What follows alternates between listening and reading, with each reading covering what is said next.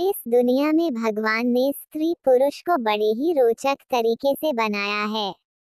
प्राचीन काल से अब तक बहुत से लोग जीवित हुए और ना जाने कितने लोग स्वर्ग लोग चले गए, लेकिन क्या आप जानते हैं कि हम सभी अपने कर्मों के अनुसार स्वर्ग और नरक के द्वार जाते हैं? शास्त्रों में ऐसा कहा गया है कि जो व्यक्ति अच्छे कर्म करता है, मरने के बाद वह स्वर्ग में रहता है, जबकि यदि कोई व्यक्ति बहुत बुरे कर्म करता है तो उसे नर्क की सजा मिलती है। इंसान को अच्छे कर्म की सलाह दी जाती है, विवाह अच्छे कर्म करे, यदि उसके द्वारा भूलवश कोई गलत कार्य हो जाता है तो उसकी भी सजा यही पृथ्वीलोक में मिल जाती है। यदि वह जानबूझकर कोई गलत कार्य करता है तो उसकी सजा पृथ्वीलोक के साथ साथ नर्क लोक में भी उसे कड़ी यातनाएँ दी जाती हैं।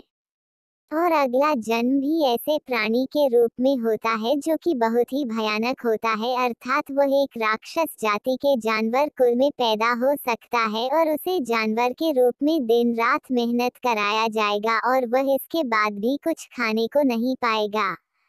जब भी अच्छे कर्म करने वाले व्यक्ति को अच्छे अच्छे पकवान के साथ नरक में आराम से रहने को मिलता है और मनुष्य जीवन भी उसे प्राप्त होता है, मनुष्य योनि में जन्म लेने के बाद वह व्यक्ति आराम के साथ जीवन व्यतीत करता है।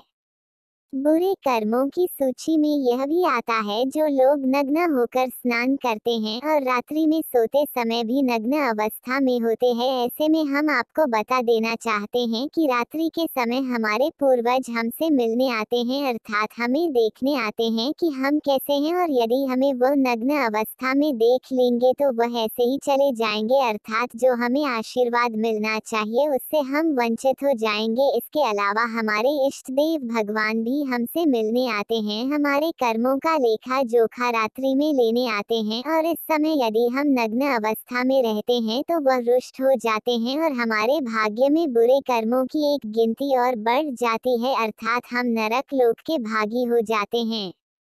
इसके साथ साथ जो पूरी तरह से नग्न होकर स्नान करते हैं वह भी पाप के भागीदार होते हैं, क्योंकि भगवान श्री कृष्ण जी ने गोपियों को यह कहा था कि हमें नग्न अवस्था में स्नान नहीं करना चाहिए, इसीलिए वह गोपियों के कपड़े लेकर छुप जाते थे।